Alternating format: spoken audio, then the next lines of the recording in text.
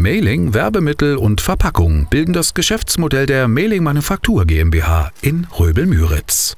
Ein hiesiges Unternehmen, einst gegründet in Berlin und bis heute mit einem Büro in der Hauptstadt. Produziert wird ausschließlich in Mecklenburg.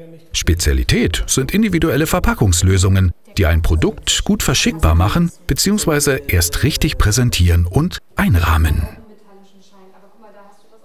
Ich sage meinen Kunden immer, ich mache euer Produkt teurer.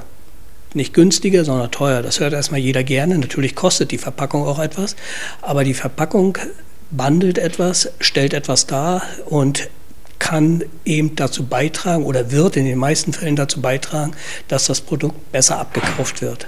Sonst würden wir gar nicht so viel Verpackung haben. Wobei unsere Spezialität Printverpackungen sind. Also das heißt Verpackungen aus nachhaltigen Materialien, ohne Zellophanierung, ohne äh, irgendwelche Chemie bzw. Plastik. Produziert wird in einer ehemaligen Kaufhalle. Zuverlässige Maschinenveteranen tun hier noch ihren Dienst, werden aber auch durch moderne Technik ergänzt und ersetzt. Diese ist selbsterklärender in der Bedienung und flexibler in der Produktion. Auch für analogen Output in Papier und Pappe sind digitale Werkzeuge heute natürlich Standard.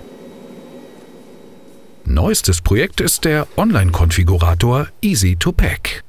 Die Kundschaft selbst kann hier rund um die Uhr Wunschverpackungslösungen für ein Produkt einfach von zu Hause oder aus dem Büro gestalten und bestellen. Im Prinzip wird der Kunde von Anfang bis Ende zu seiner individuellen Verpackung durchgeführt. Das heißt, wir nehmen ihn an die Hand und sagen ihm gleich ab der ersten Abfrage, was möchte er verpacken, wie möchte er es verpacken, was macht sein Produkt nachher am Ende besonders, wie können wir das dann umsetzen. Und da führen wir ihn durch, Schritt für Schritt für Schritt. So findet viel schneller und unkomplizierter eine Idee ihre Umsetzung, entsteht eine individuelle Verpackung in professioneller Qualität. Gefördert wurde die Entwicklung des Online-Konfigurators Easy2Pack aus dem Europäischen Fonds für regionale Entwicklung.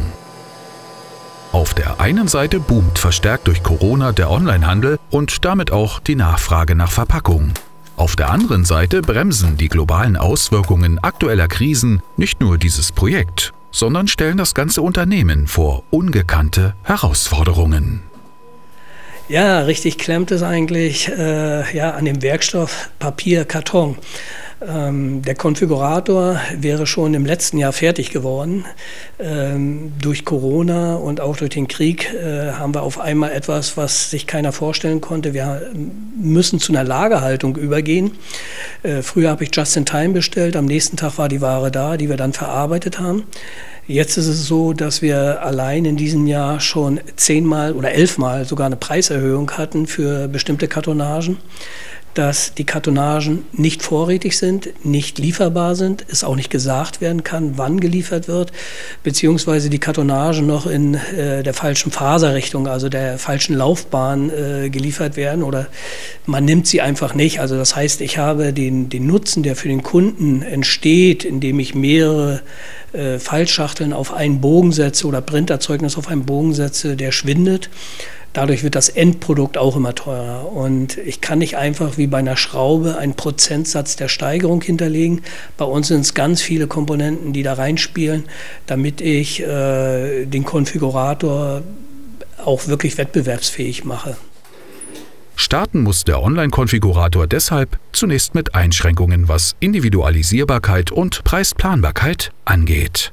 Das Team der Mailing Manufaktur GmbH in Röbel steht aber natürlich nach wie vor parallel per Mail und Telefon zur Verfügung.